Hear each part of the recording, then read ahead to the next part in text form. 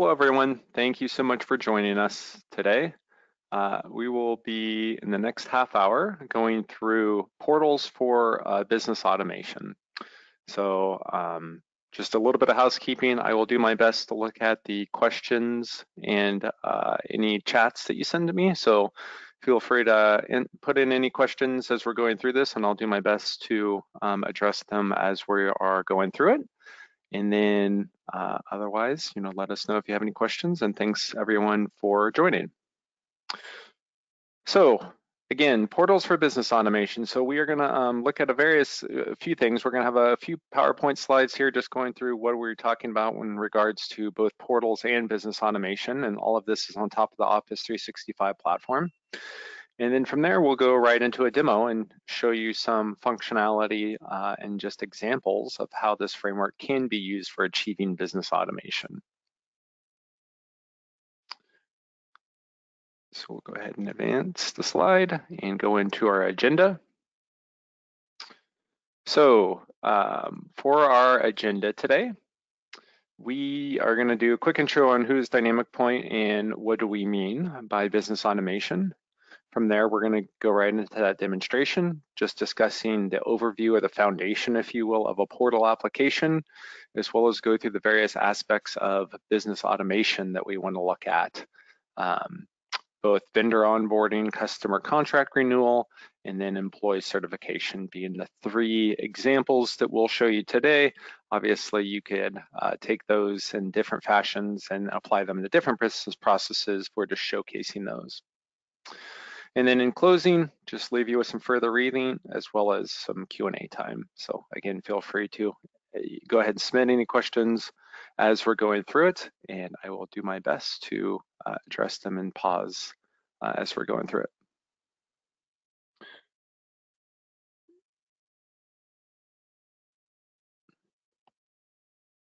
So just a brief introduction of um, who DynamicPoint is. And I'm sorry, it's saying it's not sharing my screen. Let me go ahead and try to do that once again. Okay, hopefully you guys could see now. Um, so who is DynamicPoint? Um, so we are a software company uh, that is focused on extending the reach of various ERP and CRM systems using SharePoint applications. And SharePoint has taken on a very different um, flavor, if you will, within the past three years with the invention of Office 365.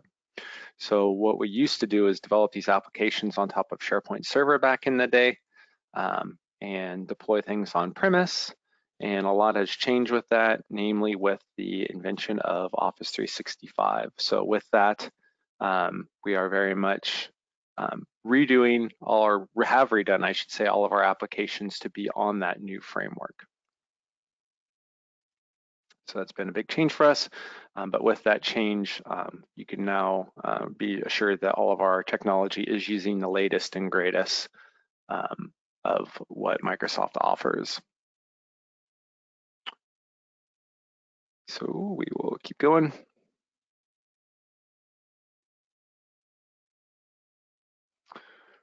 Okay, what makes us different um, from a product uh, company? So what makes us different is that we are, you know, very much an app within this ecosystem. And I suppose the analogy I like to use here um, of you know how we are different is very similar to the analogy of an app that resides on a mobile phone. And if you think about an app that resides on the mobile phone, obviously that gets installed on your mobile device and it leverages all these various functions and features of the mobile platform. So when I install something on my phone, it asks me if I could use uh, such features as the camera, um, you know, as location services, things like that well. We do that same thing, but we do that within an Office 365 platform. So uh, same idea, but obviously we're on a business platform here as opposed to um, a mobile device or an iPhone or an Android. So what that means for us is we develop our products. They are deployed on top of SharePoint as an app. That app provides security, branding to document management in the framework for our applications. From a workflow perspective, we're using a tool by the name of Power Automate, which also comes with this Office 365 suite. For mobile applications, we're using Power Apps. For gathering additional details, we're using Forms. And for reporting and analytics, we're using Power BI. So we're leveraging all of these tools that come with this Office 365 framework to make our products that much more powerful um, and ultimately functional um, at a fraction of the cost of developing all of this from scratch. So that's the benefit, if you will, of this ecosystem um, is that it's providing us all this functionality and you know obviously Microsoft is um, most of our customers are already signed up on the Microsoft framework so they have all these tools at their disposal already so you know a huge humongous advantage. Obviously we've seen that similar uh, advantage in developing applications for uh, end users um, by using their mobile device. So if we were to carry on. So what makes a portal? A portal um, is really a lot of different things and it really depends on the use case of who it's targeting. So a portal can be geared towards various different people or different uh, end users, if you will. It could be a customer portal. If it is a customer portal, the things that I typically do is I manage company information, share contracts and agreements, do such things as order entry, inventory, payment processing, and help desk. All of those, of course, are just examples, um, but you know, there's obviously different, uh, there's really no end to what a customer portal entails. If I do a vendor portal, again, I could do such things as manage company information, publish terms and conditions, maybe collaborate on such things as purchase orders and payment status, as well as shipments. Again, just examples. If it's more of an internal facing uh, portal, such as an employee portal, in that case, you know, I'm going to be more interested in employee uh, handbooks, as well as time entry, project management, maybe providing an insight to company operation, as well as reporting and analytics. So all of those are very much uh, options um, for the portal application. Of course, it depends on who that audience is um, that really, you know, determines what functionality is the goal of a portal. And a portal is one of those things that it means different things to different people. It's one of those words that can be interpreted in very different fashions depending on uh, what it is that your company does, not only from a um, business operations perspective, but again, who's that targeting and who that uh, end user of that portal will be.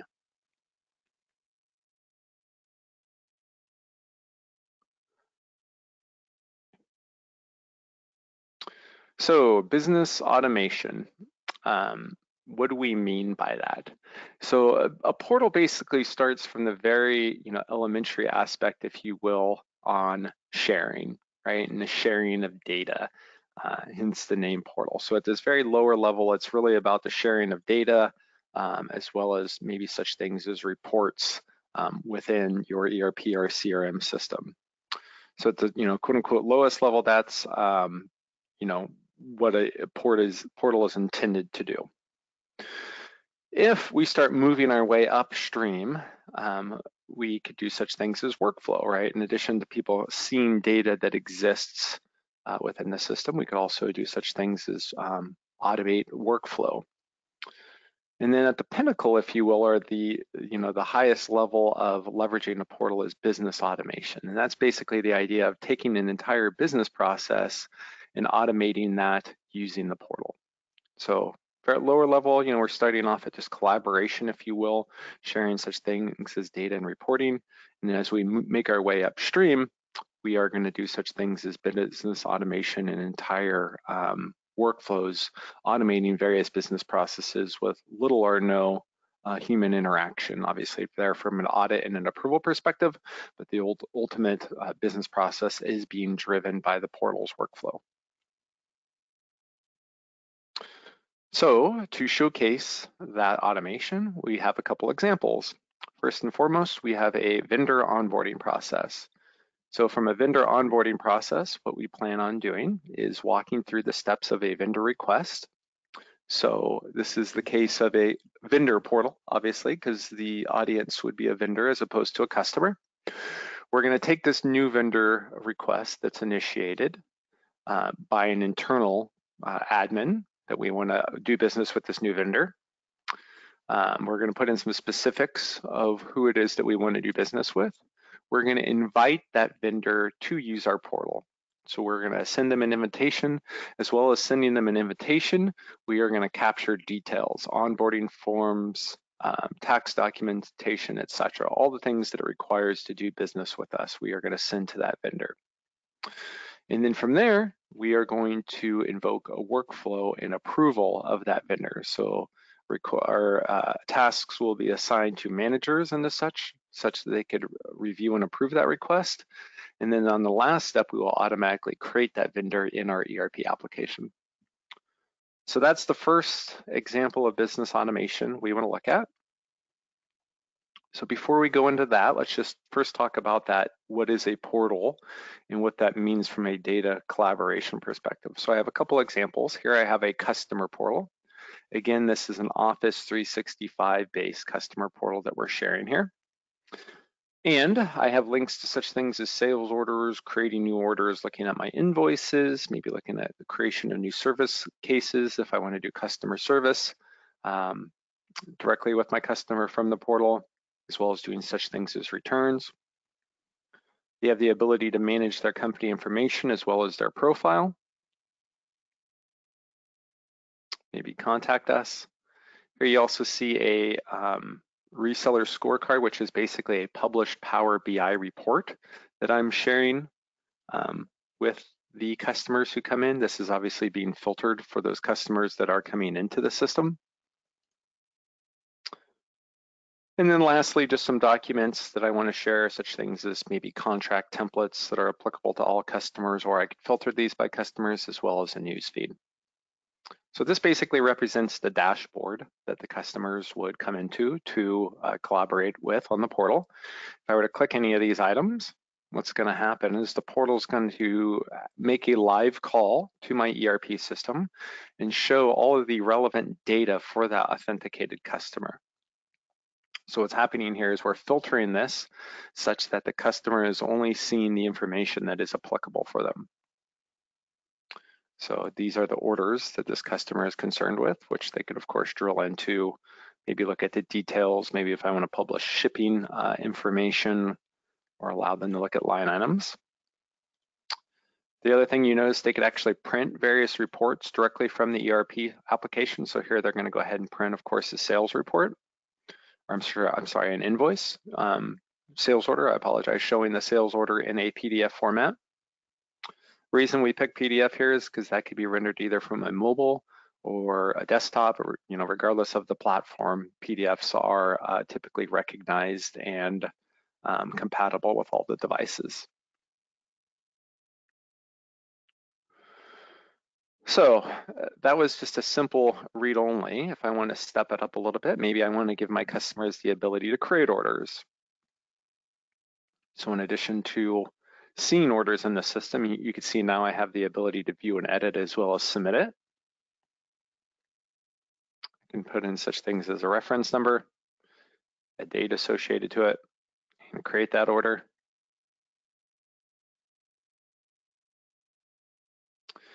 You can see it did make a live call directly to the ERP application and defaulted all of the information for the uh, customer that is authenticated. And then I could go ahead and add line items directly to this as well.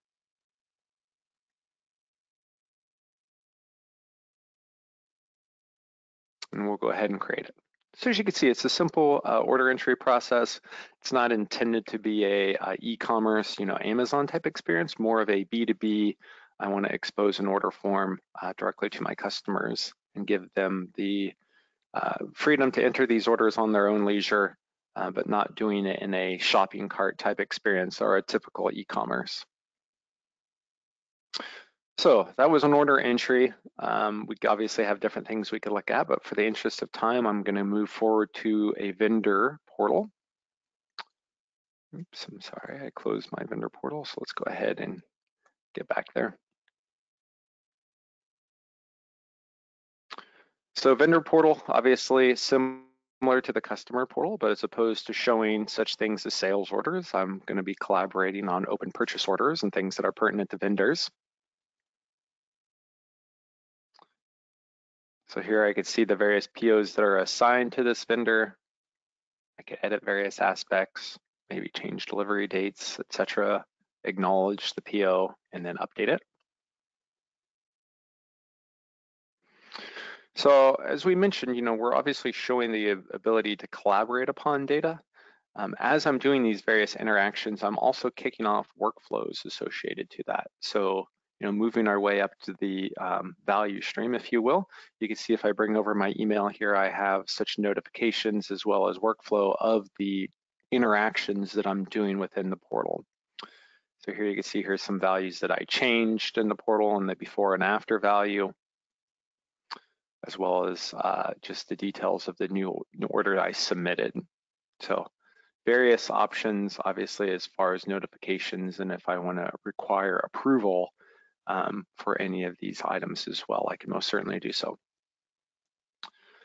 So that's just an introduction. What we wanted to talk about today um, was focusing on that business automation. So the first uh, process that I introduced was a vendor onboarding.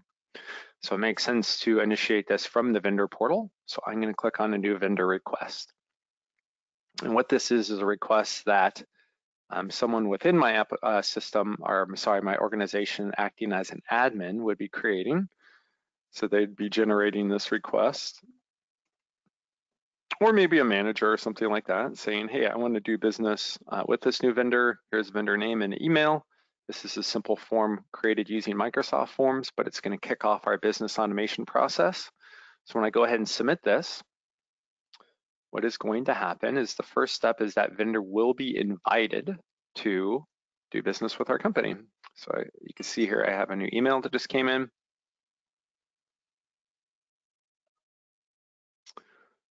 And if I go ahead and bring this over such that we could see it, see what it's done. It's actually initiated a new contract to me um, using DocuSign. So this is leveraging the DocuSign platform, which also offers integrations with Office 365. And if I click review this document, see here it's opened up a new vendor request using the DocuSign platform. So I have a pretty simple form here just asking such things as company information and address. I won't bore you with filling this out. Obviously, I'd fill this out. I could do such things as checklist and drop down what it is that I want to capture. But then the real point of interest, I suppose, is the capturing of document, uh, government forms and documentation. So here I have uh, the friend the W-9. So we could obviously fill that out. And one of the biggest advantages of doing this with the DocuSign platform is I could do electronic signatures. So I could clear my signature, I could change it, as well as I could add new ones. So I could go ahead and draw my signature. And replace it right in that document. So again, this has gone to the vendor after they have completed their part of this process and we'll hit finish. It's going to kick off a workflow.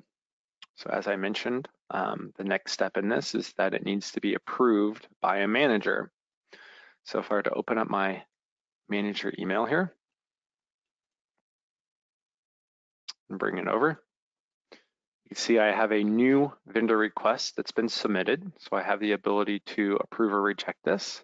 If I click on the link here, it will open up the form, which is the form that was just completed. My vendor also got a copy of this, by the way, so they got the completed document back to them. So this is the form that the manager can now review, as well as approve or reject the addition of this new vendor. So they could do this from email. If you guys are familiar with Teams or your company is using Teams, you could also do this from the Teams platform as well. Oops, so here's my Teams application. If I go ahead and bring that over, you see here I have a new vendor request. Again, I could approve or reject it directly from here, as well as click on the link to the completed form. So we'll go ahead and finish this one from email, because that's where we started. So we'll say, sure, this looks great.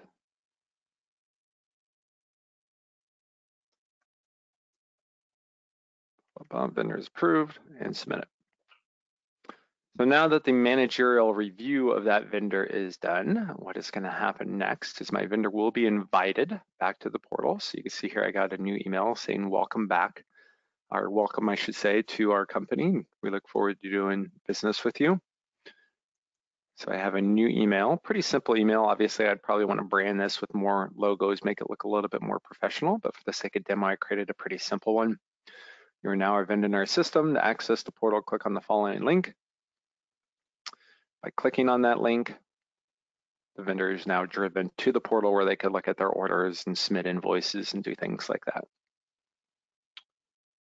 So as you could see, if I go ahead and bring back my PowerPoint, basically we took the vendor request initiated from someone within the organization, we sent that invitation to the vendor, they completed all the necessary documentation, including the W-9, and then we cooked off a managerial approval of that uh, new vendor as well as automatically creating that vendor in our ERP.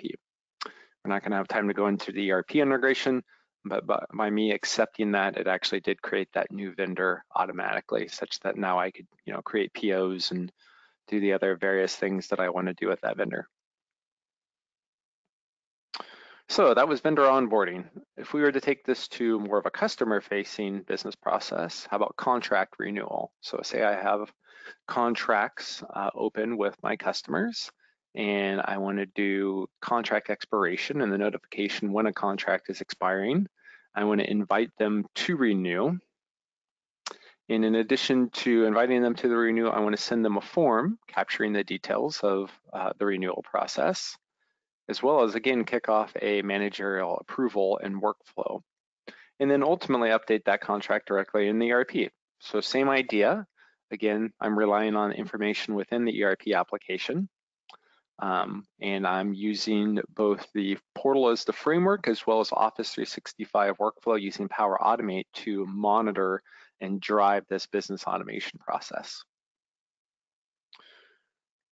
So we will shift our gears out of the vendor portal and I'm gonna go into my customer job cost portal. So here's my job cost portal and here I have a contract summary. And it's showing the status of the various contracts that are assigned by me. As you can see, I haven't included the document per se, but I could obviously include the document. Here I'm just showing some highlights of it, such as the expiration date, the name, etc. If I dry, drill into any of these, you can see I'm just showing the completion, estimated completion date, the original contract amount. Of course, I could include you know, more details of the contract as well as links to the actual physical document as well. So we want to renew this. So given that this is um, expired, it has kicked off a renewal request to me, the customer in this case. So again, if I bring up my email,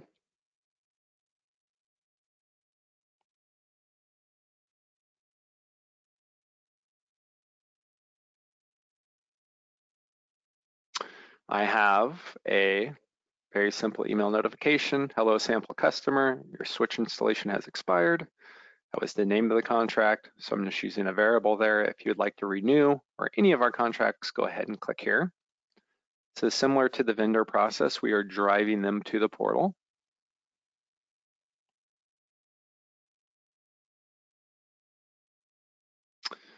So here's their contracts within the portal. Here's the switch installation that I gave them um, notification was expiring. So we could go ahead and renew that.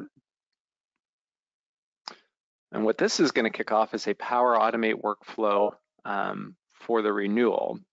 It's not as complex. I made this one pretty simple compared to the vendor onboarding, which included such things as the W-9. I made this one even more straightforward. So the customer said, hey, thanks for uh, initiating this. Here's the form. So based on their request to renew, I automatically generated an email to them saying, here's the link to the form. And what that is now opened up is a contract renewal form uh, that I created using Microsoft Forms. It's pretty simple. As you can see, how's your experience been with your existing contract? I could say that's been great. Uh, what would you like to do? Let's renew it.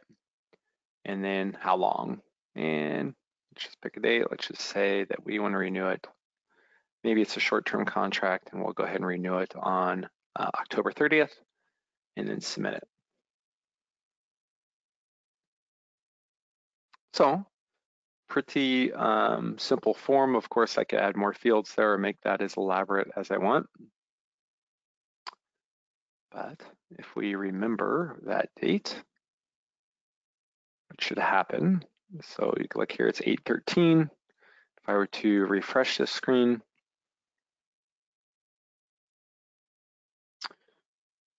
we should get, and again, this is a live query of that ERP data. We can see now it's been updated 1030. So we've actually updated the ERP application with the new expiration date, and now we're showing that directly in the portal to the customer. So again, sort of similar to the vendor onboarding, same idea, uh, but different use case in that it's being applied to a customer renewal as opposed to a new vendor coming into my system. So, I mean, really what's behind this? There's the workflow, which is being leveraged by Microsoft Flow or Power Automate. And then there's also um, the form or, uh, you know, depending on the technology. In one case, I used a DocuSign form. Uh, in the other case, I just used Microsoft form that I could create, right? And if you're not familiar with how to create these forms, they're pretty um, simple. So I could create, say we wanted to do an employee certification form or something like that.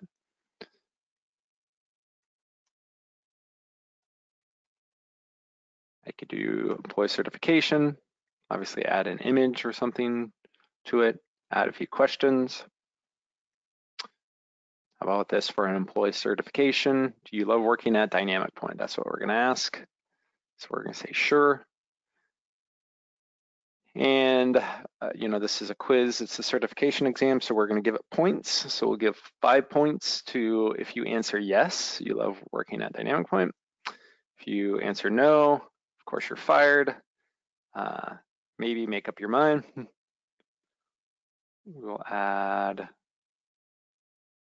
about one more just for the fun of it. We will do a text. What do you like best about working here? Question. And of course, the answer will be, oops, got it.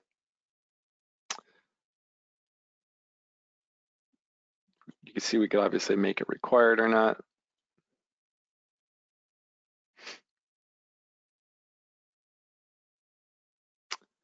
And leave that as a text option. So simple, you know, multiple choice as well as text. We'll keep it basic. And then we will go ahead and share this. And ultimately, this is what was generated in that email that I sent, right? So the email that I sent to the customer leveraged this URL, um, of which I'm not gonna build it into a workflow right now, but as you can see, it just presents them that certification. They can answer the questions, do all the other stuff, fill out any various answers.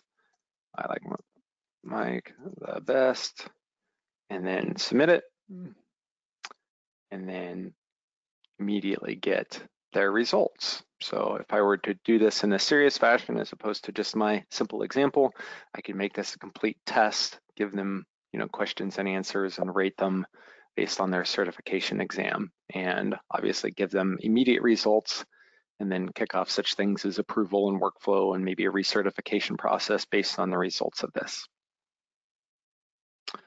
So simple example, but hopefully through you know looking at the uh, vendor onboarding as well as the contract renewal, you could see the power in what that could become if I were to uh, take that example and continue to build it out. So that was the contract renewal. Um, further reading on this topic. So, you know, this whole platform that we're leveraging, this Office 365 platform and using it for portals and collaboration is by no means uh, anything I could take credit for. Uh, the idea of developing this is very much something being introduced by Microsoft as well as their platform that comes with Office 365 and various tools. So I will send this um, document out after this webinar, but there's various links to further reading, reading as well as information on our site that you could leverage and learn more about these topics as well as the various tools that are available for building them. And that concludes our webinar. So I, it looks like I am at time. I thank everyone very much for joining and wish everyone a great rest of your week, uh, as well as staying safe and stay healthy. Thank you everyone very, for your time and we will uh, follow up with an email with the contents of what was provided today. Thank you so much. Bye now.